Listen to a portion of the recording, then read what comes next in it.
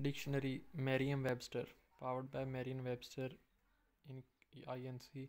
This application has 4.5 ratings with 529k reviews and over 10 million plus downloads. Here are the screenshot and interface of this application.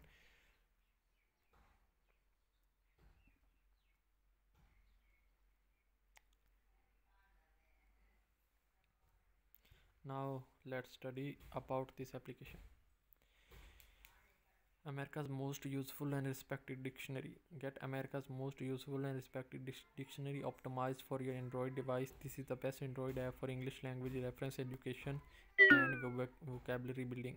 And now you, we have added new word games. It's never been more fun to learn new words and test your vocabulary for everyone from English learners to total words and adds hundreds of words to test your skills.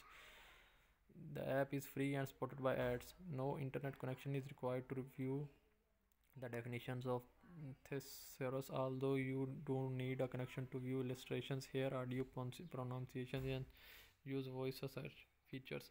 New vocabulary building quizzes fun last fast quizzes to learn new words or test your vocabulary. Voice search look up a word without having to spell it. Word of the day learn a new word every day integrated thesaurus Synonyms and antonyms are included with the dictionary example sentences. Understand how a word is used in the context. Quick definitions. Perfect for on the go lookups, audio pronunciations.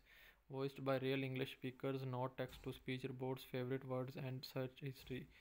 Keep track of your of the words that are most important to you for tablets. Scrolling index lets you browse the entire dictionary. Now let's study about uh, study the reviews of users of this application. So basically i uh, google user says so basically i have tried almost each and every dictionary that i looked promising but my opinion is that this is not up to the best dictionary. It has been offline feature as well as synonyms and antonyms and it has even has a build in the game. Just splendid. I absolutely love the interface. The best that's out there and to the top. It are it all ups to the premium version. So is so cheap. No ads displayed while using it. Well done. I have suggestion though the extend pronunciation to all the visible text. It would be great. Another google user says the dictionary is good but i am having i am giving it three stars because there are some problems need to be fixed none being the native uh, native speaker it brings difficult for us to memorize some words at some extent. So please let all the recent search words remain in the history block. In this way we can easily memorize these words. Even we can see them for once.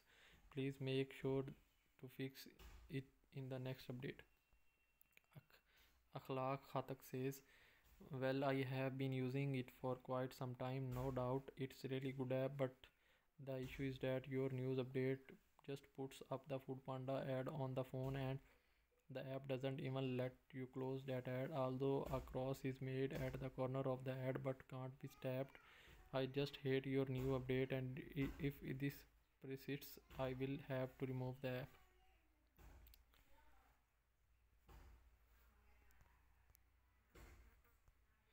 Sharjeel Fact says app is doubtlessly amazing, best app features and intelligently interactive user interface, but it's showing ads that are unable to close even by tapping the, the close icon. It's so irritating and disturbing. Please solve this as soon as possible. Thanks. Derek Ulrich says it's a great handy little app. You can sign in and save words for later. It's a simple app as less is more kind of app it does not nag you too frequently for premium version. The only reason i didn't give, didn't give it five stars because when i'm trying to into search bar the keyboard disappears and i have to tap back into the search box to bring it back has happened to my phone old phone as well. Pj says i have to use this for work but the latest update has ads that blocks the screen with no way to navigate back to the app so i am constantly having to restart it that and there there are loud ads that will just play out suddenly which is the last thing i need to middle of the research and writing. Silent app should have been silent ads.